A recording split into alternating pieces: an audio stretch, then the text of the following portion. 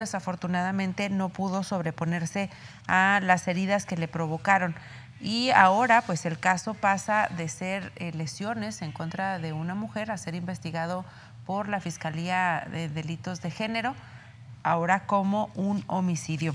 Lo que han dado a conocer las autoridades es que se hicieron cargo de las indagatorias los agentes asignados a la, a la Fiscalía de Delitos de Género pero hasta el momento no se han dado eh, pues más información si hay algún avance en esta investigación. No se sabe si se cuenta ya con la identificación de él o los agresores, porque en su momento no se informó que hubiera detenciones. Un hombre escapó